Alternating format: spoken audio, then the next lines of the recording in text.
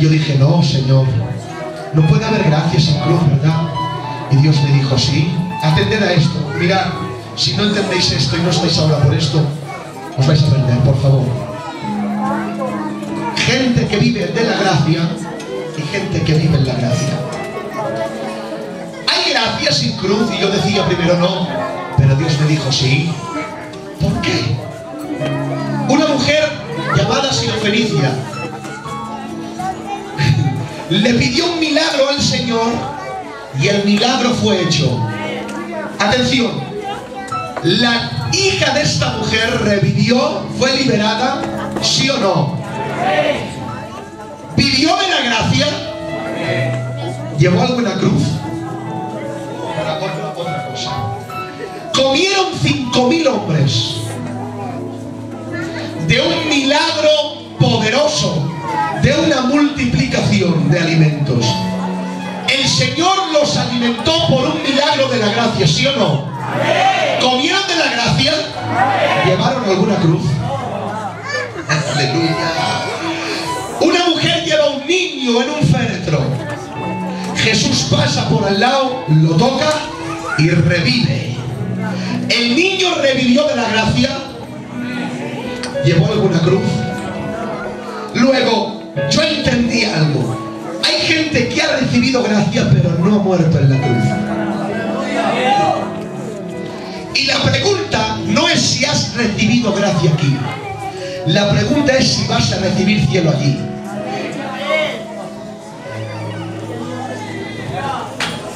Escuchadme.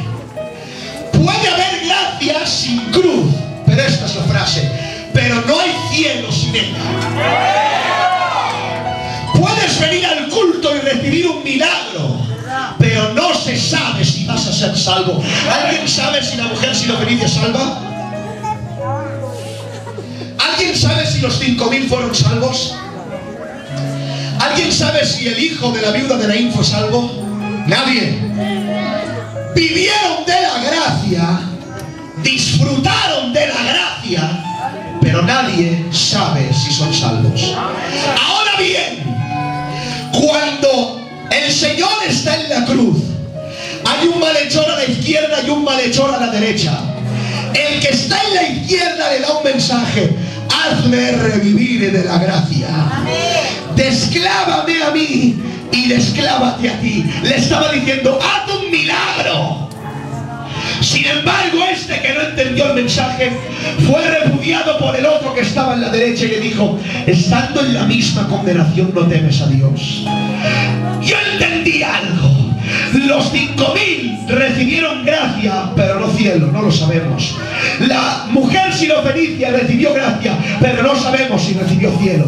También el hijo de la vida de Leí recibió gracia, pero no sabemos si recibió cielo. Pero sí hay algo, que aquel que estaba crucificado a la derecha del Señor supo pedir. No pidió milagro, pidió cielo. Y nunca fue desclavado, no revivió de la gracia, pero hay una frase que sale de la boca del maestro y le dice, en verdad te digo que como has entendido el mensaje, hoy estás conmigo en el paraíso. ¿Qué te quiero decir con todo esto? Por cuatro movimientos del Espíritu cuatro cosas que te vengan en el corazón en el culto, no sabes si eres salvo. No sabes si hay cielo para ti. Pero la única cláusula, la única firma que pagues de cheque es la cruz. No quieras que te desclaven de la cruz. No quieras dejar de sufrir dolores. No quieras dejar de negarte a ti mismo. Porque solo hay un camino quien quiera venir en pos de él. Y yo digo, ¿cuántos hay que quieren ir en pos de él? Levanten su mano y digan aleluya.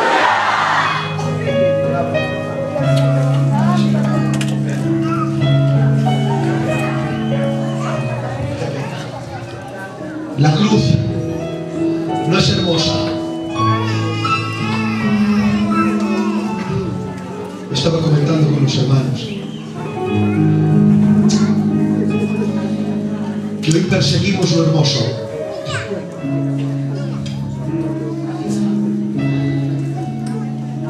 Perseguimos aquel buen predicador. Perseguimos ser un buen cantante en otras palabras más técnicas, Hoy lo que alucina en la tierra es el don del hombre. Si me seguís por lo que predico, estáis perdidos. Yo he ido a veces a iglesias y me han dicho, queremos que seas el pastor de aquí. Y yo digo, no sabéis cómo me gano la vida. No sabéis si tengo buen testimonio. No sabéis cómo trato a mi mujer. Y queréis que sea el pastor vuestro.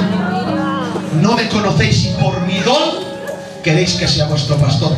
Tenéis el mensaje equivocado.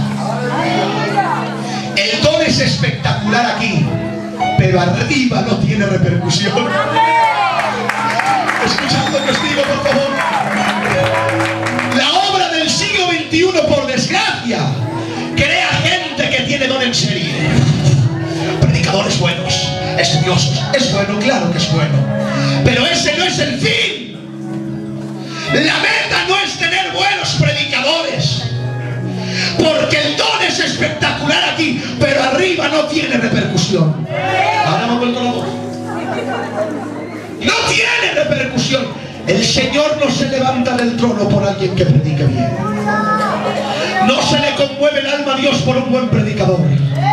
El Señor agita sus ojos y llora por alguien que cante como los ángeles. ¿Saben por qué?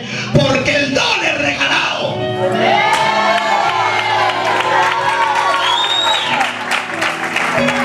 Nadie se ganó predicar bien.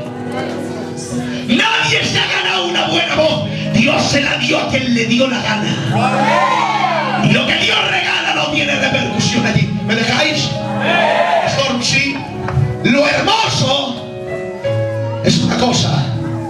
Nosotros perseguimos lo hermoso. Pero lo que dice la Biblia que tenemos que perseguir no es lo hermoso, sino lo justo. La Biblia dice que había un lago en, Israel que se llamaba el lago de Genesaret. Aleluya. Todo el mundo iba al lago a inspirarse, porque dicen, dicen que era el lugar más hermoso, el, paraje más bello de allí. Iban los poetas a inspirarse, iban los pintores a pintar. Atención, iba la gente a inspirarse por la hermosura de aquel lugar. Pero dice la palabra que un día Jesús pasó junto al lago. Y la gente dejó de mirar lo hermoso para verse a, ver a contemplar lo justo. Otra vez. Dejó de mirar lo hermoso para ir a ver lo justo. Es verdad que aquí tenéis gente que tiene don. Gente que predica como los ángeles. Pero si vienes al culto a contemplar lo hermoso, quizás algún día llegues a ser hermoso. Pero por aquí pasa uno cada día. Que quizás no sea hermoso como tú quieres. Porque la cruz no es hermosa, pero la cruz es justa. Justa. Si llegas ahí, si vas a contemplar lo hermoso algún día, quizás prediques bien o cantes bien. Pero si quieres agarrar lo justo, algún día quizás llegues a serlo. La hermosura tiene un enemigo. Alguien dijo, quédate a mirar lo hermoso un minuto, pero quédate toda tu vida contemplando lo justo. La hermosura tiene un enemigo, el tiempo. Nunca una doncella será bella toda la vida. Porque el tiempo hará que lo hermoso, que a lo hermoso le salgan arrugas. Por desgracia, nosotros estamos haciendo cirugía lo que ya ha caducado. Lo que el tiempo ha puesto en su sitio y han salido arrugas, lo que ya no vale, le ponemos cirugía por aquí y lo hacemos, pero es imposible ni con cirugía. Lo hermoso será hermoso siempre. Porque lo hermoso tiene un enemigo que es el tiempo. Pero atención, el tiempo es íntimo amigo del justo. Porque el justo está sufriendo aquí penas, pero habrá un día que el tiempo hará anda. Te paso por encima de lo hermoso y te pongo en el lugar que te mereces. Quizás estés pasando por penas aquí.